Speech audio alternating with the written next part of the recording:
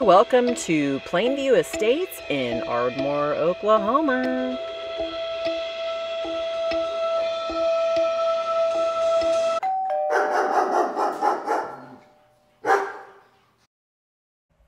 Hey everybody, Stacey Hesser here, your favorite realtor in all of southern Oklahoma, and we are at Plainview Estates in Ardmore, Oklahoma.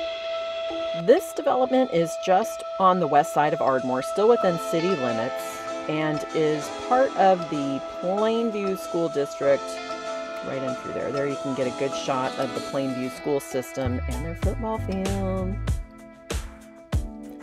Ardmore, of course, is centrally located between Oklahoma City and Dallas.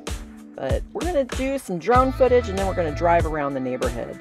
This particular neighborhood is another one similar to Tuscan Vineyards that it's got, it's going to be about 50 homes all in uh, with 25 to 30 homes that are already completed, and about five are currently under construction right now. This development is not an HOA development, though, so that may appeal to some people, but you will see a variety of different types of homes in this neighborhood. Uh, you'll also see shops and pools. The lots vary in size from about a half an acre to just over two. Many of the houses do have three car garages, and they'll start at about 2,500 square feet per home to a massive house in this development of over 8,000 square foot. So you do have quite a variety of homes that are in this particular development. Very typical to Oklahoma in general, though, are brick built homes. So it's it's probably the most common building material that you're going to see here in Oklahoma, and it certainly holds true with this particular development.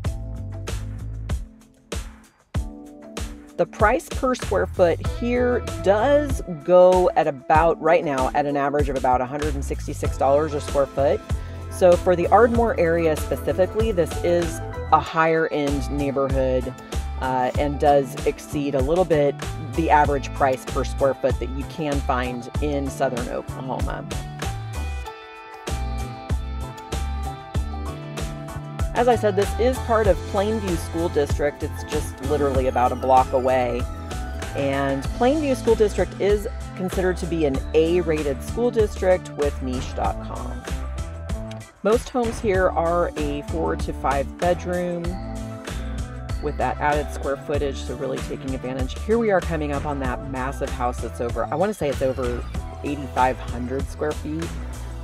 Probably one of the biggest houses in all of Ardmore. So there are still vacant lots available to purchase. They are starting at about $45,000 per lot. And do, of course, have water available. That's a very hot commodity here in the Ardmore, southern Oklahoma area. Always something if you are looking to build to be sure you ask about.